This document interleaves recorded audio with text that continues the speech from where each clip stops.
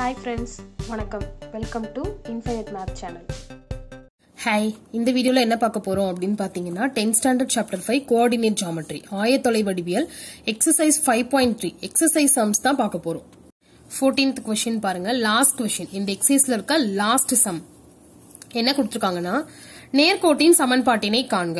Find the equation of a straight line அதில் first question one comma minus four என்ற புள்ளி வழி செல்வதும் வெட்டுத்துண்டுகளின் விகிதம் two is to five passing through one comma minus four and has intercepts which are in the ratio two is to five அதாவது இன்டர்செப்ட்ஸோட ratio கொடுத்துட்டாங்க.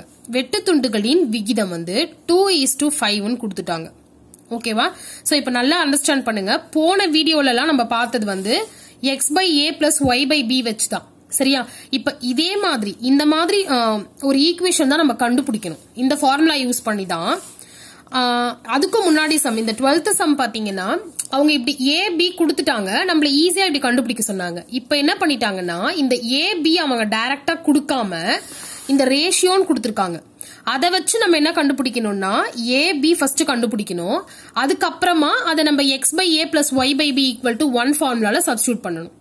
இந்த ஏபி கண்டுபிடிக்கிறதுக்கு தான் அவங்க இந்த பாயிண்ட்டும் இந்த ரேஷியோவும் கொடுத்துருக்காங்க. சரி இப்போ ஃபர்ஸ்ட் வந்து ரேஷியோ பாருங்க. ஏ இஸ் டு பி இந்த ரேஷியோ தான் அவங்க கொடுத்துருக்காங்க. என்னன்னா டூ இஸ் டு ஃபைவ்னு சொல்லி. அப்போ நம்ம என்ன பண்ணிக்கலாம்னா A equal to two K B equal to five கேன்னு வச்சுக்கலாம். ரேஷியோங்கிறதுனால நான் டூ கே ஃபைவ் கே அப்படின்னு கன்சிடர் பண்ணிக்கிட்டேன். அடுத்தது இப்போ இன்டர்செக்ஸ் ஃபார்முக்கு நமக்கு என்ன தெரியும்? Intercepts form X by A plus Y by B equal to ஒன்னு தெரியுமா? இப்ப இந்த இடத்துல ஏ இருக்கிற இடத்துல டூ கேவும் பி இருக்கிற இடத்துல ஃபைவ் கேவும் போட்டுக்கலாம்.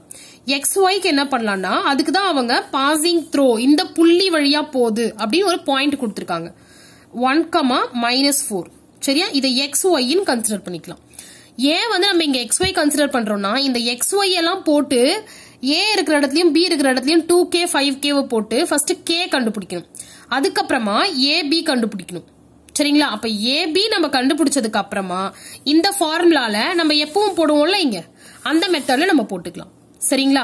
சோ நல்லா திரும்பவும் சொல்றேன். இந்த பாயிண்ட் நம்ம எக்ஸ் ஒய்னு எடுக்கிறதுக்கான காரணம் அவங்க அந்த வழி அந்த புள்ளி வழியா போகும். அந்த பாயிண்ட் வந்து இங்க எங்கேயாவது இருக்கும்.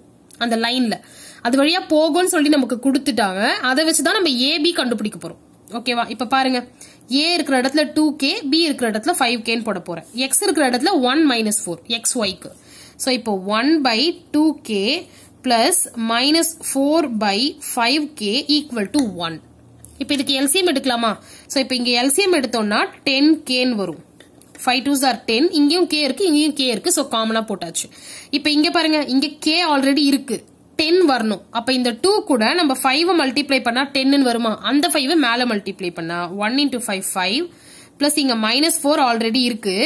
இங்க எப்ப டென் வரும்? டூவால மல்டிப்ளை பண்ண. அந்த டூவை இப்ப மேல மல்டிப்ளை பண்ணும். ஈக்குவல் டு ஒன் இப்ப பாத்தீங்கன்னா இங்க இருக்க டென் கே இங்க போயிடுச்சுன்னா மல்டிப்ளிகேஷனில் போயிடுமா? சோ இங்க ஃபைவ் பிளஸ் மைனஸ் போட்டுக்கலாம். இங்க பாருங்க இப்ப. மைனஸ் ஃபோர் இன்டூ டூனா eight plus into minus minus eight equal to ten k ஏன்னா இந்த டென் கே இங்க போச்சுன்னா one into ten k ten k இப்ப பாருங்க இதை minus three equal to ten k so k equal to minus three by ten சரியா? இப்ப K கண்டுபிடிச்சிட்டோம். இதை வச்சு நம்ம ஏ பியும் கண்டுபிடிக்கலாம். A equal to two k b equal to five k இது எங்கிருந்து வந்தது? இங்க இருக்குதுல்ல? அவங்க கொடுத்த ரேஷியோ வச்சு எழுதணும்ல அதுதான். சோ இப்ப பாருங்க. A equal to two into minus three by ten இந்த கேவோட வேல்யூவை இங்கே சப்ஸ்டியூட் பண்ணிட்டேன்.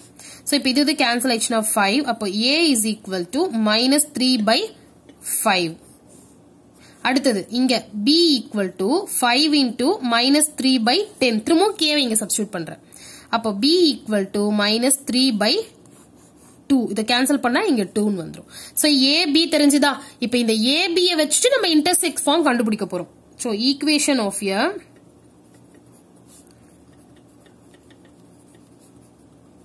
straight line in intercept form.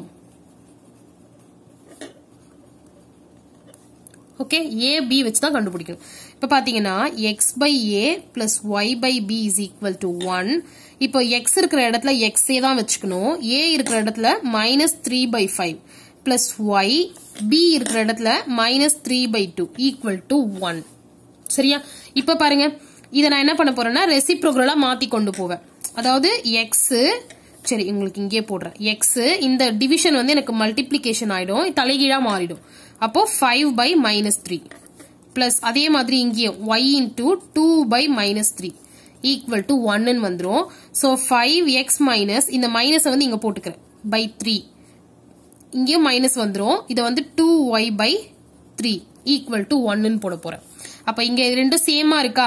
So minus five x minus two y by three equal to one இந்த த்ரீ இங்கே போனால் மல்டிப்ளிகேஷனில் so minus five x minus two y equal to one into three three இப்போ இதையெல்லாம் இந்த பக்கம் கொண்டு போய் பிளஸ்ஸா மாத்த போறேன். So zero equal to five x plus two y plus three நல்லா புரிஞ்சுக்கோங்க. இந்த மைனஸ் ஃபைவ் இங்கே போனால் plus five minus two y இங்க போனா பிளஸ் டூ ஒய் இந்த த்ரீ அங்கேயே தான் இருக்கு. அந்த சைட்லயே தான் இருக்கும். அதனால அது பிளஸ் த்ரீயே தான் ஓகேவா இதுதான் equation of a straight line இந்த கொஷினுக்கு இந்த மாதிரி ரேஷியோ கொடுத்தாங்கன்னா இத மாதிரியான சம்ஸ் எல்லாம் கண்டிப்பாக கேட்பாங்க. ஓகேவா சோ நல்லா புரிஞ்சு படிங்க அண்டர்ஸ்டாண்ட் பண்ணிக்கோங்க. இப்போ அடுத்தது வந்து இதுல இருக்கிற செகண்ட் சப்டிவிஷன் நம்ம பார்க்க போறோம்.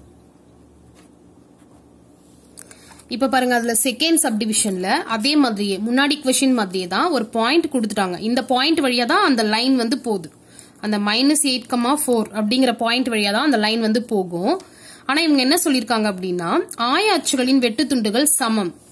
Making equal intercepts on the coordinate axes அப்போ ஏவும் பியும் ஈக்குவல்னு சொல்லிட்டாங்க. ஓகேவா இப்ப பாருங்க x by a plus y by b equal to one இதில். ஏவும் பியும் ஈக்குவல்னு சொல்லிட்டாங்க. அதுதான் ஆய அச்சுகளின் வெட்டு துண்டுகள் சமம். Making equal intercepts on the coordinate axes okay அடுத்தது பாயிண்ட் வந்து மைனஸ் எயிட் கமா ஃபோர் இப்போ என்ன பண்ணலாம்? இதை எக்ஸ் ஒய்ன்னு கன்சிடர் பண்ணிக்கலாம். நம்ம வந்து இங்கே சேமா போட்டுக்கலாம். ஏஏன்னு போட்டுக்கலாம். இல்லை பிபின்னு போட்டுக்கலாம். அது நம்மளுடைய விருப்பம். இப்போ பாருங்க. எக்ஸ் இருக்கிற இடத்துல minus eight by a plus y இருக்கிற இடத்துல four by a equal to one a வந்து நான் ஏஏன்னு போட்டேன்னா இது ரெண்டும் ஈக்குவல் தான். ஸோ பிக்கு பதிலாக நான் ஏன்னு போட்டிருக்கேன். இப்போ எல்சிஎம் பாருங்க ரெண்டும் சேம் தான். அப்போ ஏ அப்படியே போட்டுக்கலாம். மேலையும் அப்படியே எழுதிடலாம். Minus eight plus four equal to one அப்படின்னு சொல்லி இப்போ இந்த ஏ இங்கே போகுமா? அப்போ மைனஸ் எயிட் பிளஸ் ஃபோர் அப்படின்னா இதனோட answer minus four equal to a பெரிய நம்பர் சின்ன நம்ம கழிச்சுட்டு மைனஸ் ஃபோர் இங்க ஏ இங்க போயிடுச்சுன்னா one into a a so இப்போ நமக்கு ஏ வந்து மைனஸ் ஃபோர்னு கிடைச்சிருச்சு. அப்போ என்ன அர்த்தம்? பியும் மைனஸ் ஃபோர் தான். ஏன்னா ஏவும் பியும் ஈக்குவல் தானே அதனால தான். ஸோ இப்போ என்ன பண்ணலாம் நம்ம? X by a plus y by b equal to one அதாவது ஈக்குவேஷன் ஆஃப் எ ஸ்ட்ரெயிட் லைன்னு போட்டுக்கோங்க. சரியா? இப்போ x by minus four plus y by minus four equal to one சரியா? இப்போ என்ன பண்ண போறோம் அப்படின்னா மைனஸ் ஃபோரை காமனா இங்க போட்டுக்கிறோம். X plus y equal to one இப்போ இந்த மைனஸ் ஃபோர் இங்கே போயிடுச்சுன்னா one into minus four minus four இப்போ இந்த மைனஸ் ஃபோர் இங்க வந்தா பிளஸ் வந்துடும் ஸோ இப்போ x plus y plus four equal to zero அவ்வளவுதான். இப்போ இந்த இடத்துல புரியுதா? இந்த மைனஸ் எல்லாம் நான் இங்கே மேலே கொண்டு போல. அப்படியே வச்சுக்கிட்டேன். மைனஸ் ஃபோராகவே கன்சிடர் பண்ணிக்கிட்டேன். சரிங்களா? அவ்வளவுதான். இப்போ இந்த சம் ரொம்ப ரொம்ப ஈஸி ஜஸ்ட் இந்த இந்த மாதிரி கண்டிப்பா கேட்பாங்க. இந்த ஏக்கும் பிக்குமான ரிலேஷன்ஷிப் ஏதாவது அவங்க கொடுத்துட்டு ஒரு பாயிண்ட் கொடுத்துட்டு ஈக்குவேஷன் கண்டுபிடிக்க சொல்லுவாங்க. அப்ப என்ன பண்ணணும்னா ஃபர்ஸ்ட் அவங்க கொடுத்திருக்க ஹிண்ட்டை வச்சு நம்ம ஏ பி கண்டுபிடிக்கணும். இந்த மாதிரி. போன சம்ல வேற மாதிரி ரேஷியோ கொடுத்துருந்தாங்க. ஓகேவா சோ அது வச்சு நம்ம ஏவும் பியும் கண்டுபிடிச்சிட்டு அதுக்கப்புறமா இந்த ஃபார்முலால சப்ஸ்டியூட் பண்ணா equation of a straight line நமக்கு கிடைச்சிரும். இதோட வந்து ஃபைவ் பாயிண்ட் த்ரீ எக்ஸைஸ் ஃபுல்லாக கம்ப்ளீட் ஆயிடுச்சு. அடுத்த வீடியோவில் ஃபைவ் பாயிண்ட் ஃபோருக்கான இன்ட்ரோடக்ஷன் மற்ற விஷயங்கள்லாம் நம்ம பார்க்கலாம். இது புரிஞ்சதுன்னா லைக் ஷேர் அண்ட் சப்ஸ்கிரைப் பண்ணுங்க. டவுட்ஸ் ஏதாவது இருந்தால் மறக்காம கீழே கமெண்ட் செக்ஷனில் கமெண்ட் பண்ணுங்க. தேங்க்யூ